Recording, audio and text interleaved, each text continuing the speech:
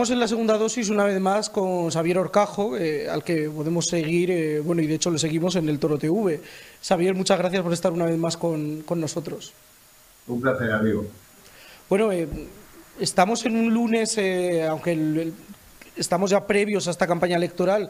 Es verdad que la campaña empieza el viernes, pero vivimos inmersos en campaña electoral. Es un estado de, sitio ya directamente, vivimos en campaña electoral. ¿Cómo la estás viendo tú, Xavier, esta, esta campaña del 28M? Bueno, hombre, dejando de lado las ofertas eh, mágicas del presidente del gobierno, incluido, y voy a hacer una ironía, esa de reservar los áticos para todos los que sean rubios, es estupenda, ¿eh? No, no, es una broma, claro. Eh, no, no, todavía no. Cuando estén las cosas peor, puede que sí, pero por ahí vamos, ¿eh? Bueno, la cosa, y más aparte, es que hay dos asuntos. Uno que nos quieren enredar con una mentira, que es, bueno, todo depende de Podemos. Como todo depende de Podemos, eh, pues están divididos, esto nos está perjudicando, y a lo mejor pues si perdemos en la comunidad valenciana o en Baleares o en La Rioja, siempre se lo vamos a poder atribuir a que, mire ustedes, que Podemos se ha quedado fuera del Parlamento o Podemos ha tenido un bajonazo tras estas elecciones del 28 de mayo. Eso no es así. Lo que pasa no puede ser un reproche hacia, hacia Podemos en ningún caso lo que se desinflan son las expectativas del partido de Pedro Sánchez. Y hay que ser honrado y admitirlo así. Nunca se ha necesitado tanto a Podemos como ahora. Y entonces se dan cuenta de que han cometido un error. Cometido un error a conciencia, que es aupar a Yolanda Díaz y consentirle la diferencia con Podemos. Cualquiera que conociera a Yolanda Díaz, a Irene Velada y a Irene Montero, ya podía imaginar que iba a ser difícil ese encuentro. Es verdad que queda tiempo hasta las generales, pero ahora el clima electoral del 28M es un clima de profunda, irritante eh, y muy incómoda reacción de los unos contra los otros, de los de Sumar contra los Unidas Podemos, y al revés. En esa circunstancia, lo que el error de Moncloa es que eso haya coincidido con el momento político de la historia contemporánea en el que más necesitan del voto de la mujer izquierda. El error entonces está preocupado a Yolanda Díaz, a lo mejor pues, eso se tendría que haber hecho mucho antes, porque ahora lo que vemos es que tiene el apaño tiene muy difícil arreglo. en mi opinión, por mucho que el país insista en la conveniencia de presentarse todos juntos, todos juntos a la izquierda de PSOE, la verdad es que lo veo muy difícil, lo veo muy difícil, incluso después de la campaña del 28 de mayo.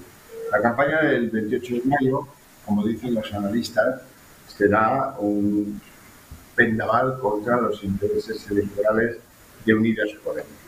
Y eso, conociéndolos un poco, conduce a más radicalismo, a más eh, alejarse de, estoy hablando de Unidas Podemos, más, alejarse de Pedro Sánchez y de Yolanda Díaz, que se va a quedar como eh, el brazo como el brazo sonriente de esa unidad izquierda que no se atreve, que no se a romper con Sánchez, como acá de Visibilidad y Unidas Podemos, ni a resolver la diferencia fundamental con eh, Iglesias, con Irene Montero y con Guiones de la.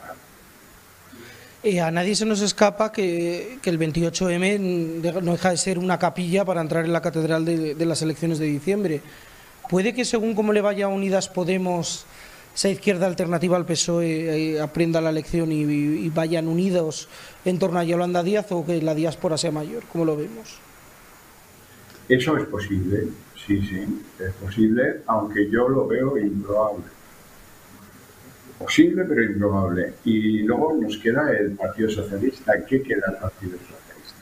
El Partido Socialista, si de estas elecciones no saca eh, Sevilla, Valencia y entrar en el gobierno de Barcelona, podemos afirmar que eh, en materia municipal esto es un desastre para el PSOE. Si además el Partido Socialista pierde la comunidad valenciana, la comunidad valenciana y Baleares, o la comunidad valenciana y Rioja, a ver las tres, Baleares, Valencia y La Rioja, esto es un, es para las expectativas del Partido Socialista y de Pedro Sánchez. Absolutamente. Eh, yo creo que esto en Moncloa lo dan por descontado.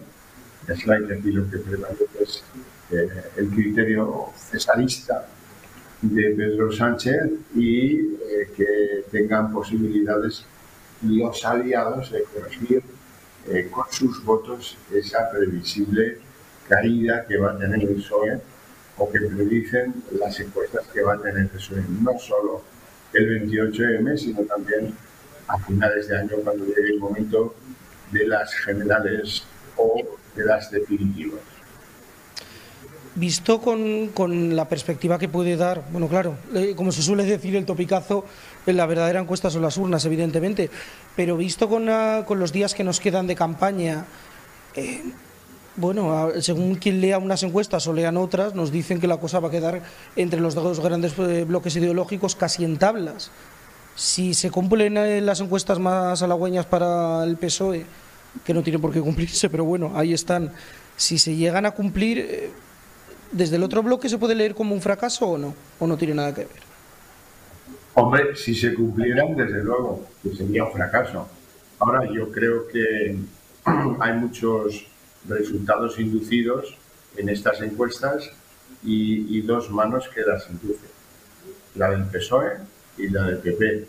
Y tiene más mano quien la induce desde el PSOE o quien ha venido ocultando este, este desfallecimiento electoral del PSOE, no es nuevo, se ha venido ocultando, se ha venido pues, a base de tetanos, a base de algún encuestador amigo, tal, se ha venido buscando hasta hace un mes.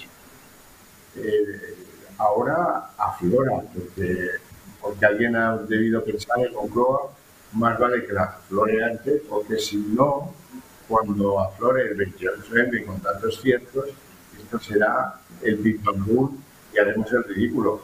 Y van soltando lastre, van soltando lastre y poco a poco vamos viendo el país la semana pasada hablaba de 97 escaños para el Partido Socialista, o 100. Y esa encuesta fue muy interesante porque es el intento del, país de pastorear de nuevo el pensamiento en, el ámbito de la izquierda española. Eh, les mandaban un dardo envenenado diciendo, oye, si vais sueltos, si vais separados, Sumar y Unidad Podemos, el coste de eso son 17 diputados. Y eso no nos lo podemos permitir. Eso nos saca fuera, nos manda la lona. Yo creo que eh, es muy explícito lo dicho por lo país y probablemente es lo que van a mantener hasta que quedan Ione Belarra, Irene Montero y Yolanda Díaz y presenten un pseudo partido unido de izquierda del PSOE. Pero para entonces yo creo que llegan muy tarde porque se habrán designado las expectativas electorales de todo lo que hay a la izquierda del PSOE. Así es que da la sensación que ha habido un error en el diagnóstico del problema, que se han equivocado haciendo que Tetanos le diera al tambor del conejito del Blacel diciendo que Yolanda Díaz era el personaje más apreciado de la política española. Lo lleva diciendo dos años. Bueno, pues eh, salgan y pregunten a la calle, a quien les dice que Yolanda Díaz puede contar ya con su voto en las elecciones generales. Pues a los hechos pues don Xavier Orcajo, seguiremos muy atentos a todo lo que a todo lo que pase. Por supuesto que vamos a decir el 28M daremos el resto para informar y veremos en qué acaba todo esto, porque en fin, es el, siempre digo que la mejor telenovela que podemos seguir últimamente es la política española. Muchas gracias por estar con nosotros una vez más aquí en la segunda dosis.